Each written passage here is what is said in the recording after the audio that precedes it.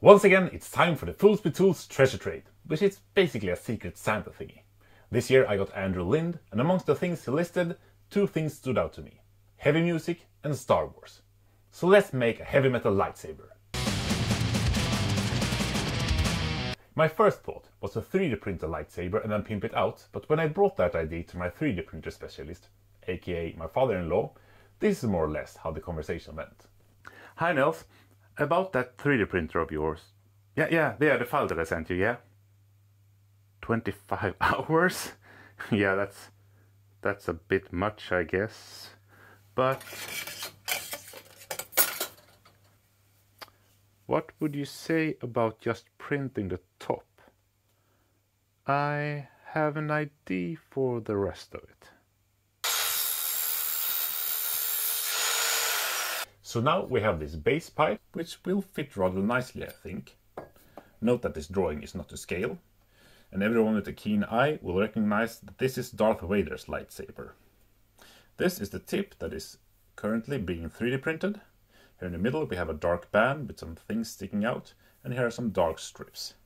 And when we're talking about dark bands and strips and things sticking out, and wanting it to be heavy metal, there's only one way to go leather and studs.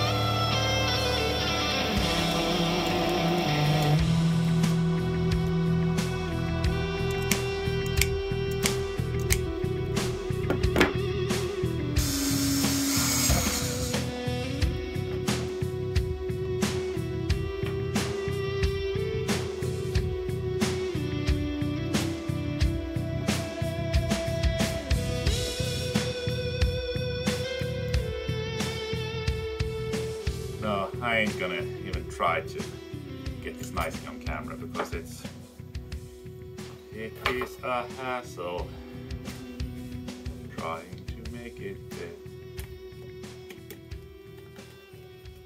So you're just gonna have to live with watching it like this, okay?